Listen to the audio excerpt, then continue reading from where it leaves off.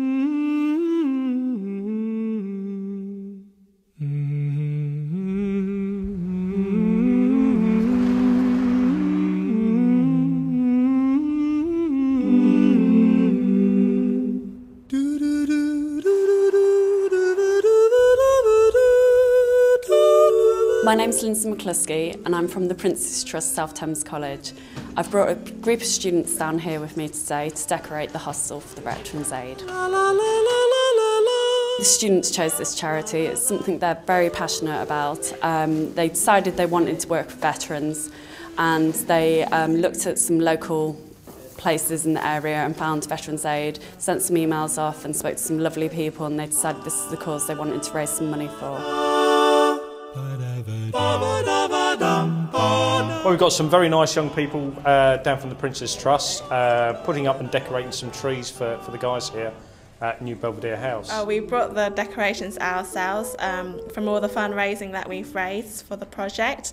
So we've got a mixture of decorations, as you can see, and also we're doing coloured rooms.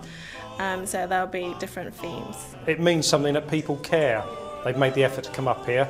Um, somebody's organised everything for them.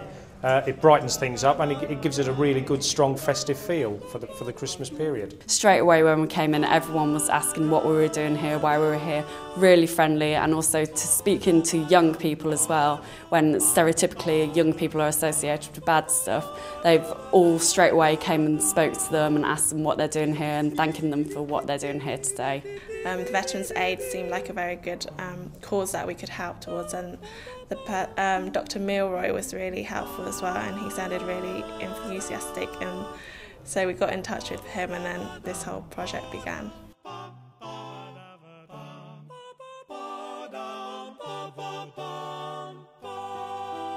The Prince's Trust runs several courses. The course that I run is called the Team Programme. The Team Programme is a 12-week personal development course